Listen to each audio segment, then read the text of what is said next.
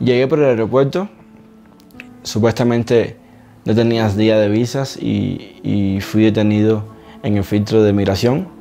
Me tuvieron en un cuarto por como 11 horas. En la entrevista que te hacen en, en migración pongo abajo de que yo quería asilo.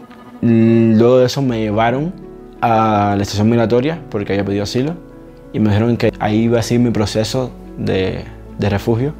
Simplemente llegué a la entrevista, le pedí que quería hablar con Comar. Comar, llamaron a Comar, vino Comar el día siguiente, me hizo la entrevista a mí y a otros más. Y ya después decidieron, Comar decidió quiénes eran los que tenían una historia que verdaderamente tenían, necesitaban un asilo o un refugio. Cuando te sacan de la estación migratoria te llevan hacia la casa de refugiados para, que estos, para abrirte otro expediente más y tener todos tus documentos. En caso de que no tengas vivienda, te llevan hacia un albergue.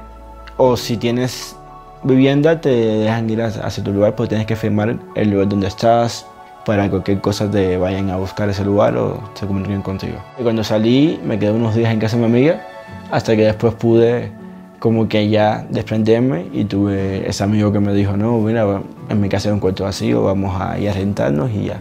Conmigo en México ha sido muy buena porque me ha dado muchas oportunidades, he aprendido bastante y he conocido muchas personas en México que me han ayudado demasiado.